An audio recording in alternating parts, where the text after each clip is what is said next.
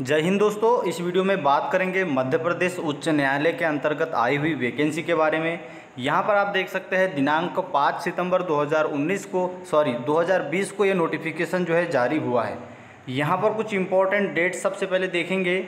देखेंगे, आवेदन भरने की जो प्रारंभ तिथि दी गई है, वो बाईस सितंबर 2020 से जो है प्रारंभ हो जाएँगे 12 बजे से। और इसके ऑनलाइन फॉर्म जो है, आवेदन की अंतिम तिथि जो है वो 5 नवंबर 2020 रहने वाली है।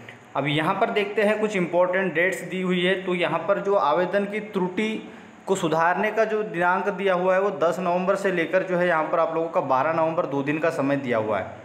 अब यहाँ पर नोटिफिकेशन में क्या जानकारी दी कि सिविल न्यायाधीश वर्ग दो प्रवेश स्तर सीधी भर्ती के रिक्त पदों हेतु एमपीएचसी की वेबसाइट जो है, के माध्यम से केवल ऑनलाइन आवेदन पत्र आमंत्रित किए जाते हैं। ऑनलाइन आवेदन भरने के दिनांक व विधि नीचे दी गई है। कृपया आवेदक अपने पत्र भरने से पहले सावधानीपूर्वक निर्देश को पढ़े। यह विज्ञापन निर्देश सहित उच्च न्यायालय की वेबसाइट पर उपलब्ध है। ठीक है, आप जो ऑफिशियली वेबसाइट है इसकी, इस पर जाके पूरा विज्ञापन देखिएगा, तभी जो है इस फॉर्म को अप्लाई कीजिएगा। अब यहाँ पर शुल्क की अगर हम बात करें, पोर्टल शुल्क की तो इसमें जो है आप लोगों को सात सौ बाईस रुपये जो है यहाँ पर शुल्क लगने वाला है।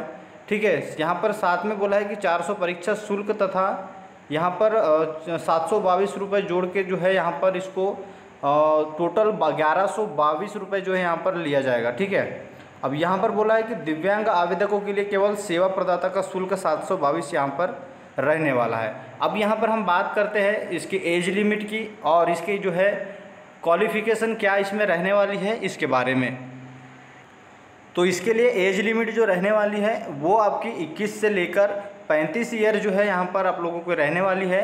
अगर यहाँ पर बात करें एज लिमिट में छूट की तो यहाँ पर पाँच साल एस और तीन साल जो है ओबीसी कैंडिडेट को दिया जाएगा। दूसरी चीज़ यहाँ पर अगर क्वालिफ़िकेशन की अगर हम बात करते हैं कि क्वालिफ़िकेशन इस भर्ती के लिए क्या रखी गई है। इस भर्ती के लिए क्वालिफ़िकेशन में आप लोगों को तीन साल का एलएलबी का डिग्री आप लोगों को यहाँ पर होना चाहिए।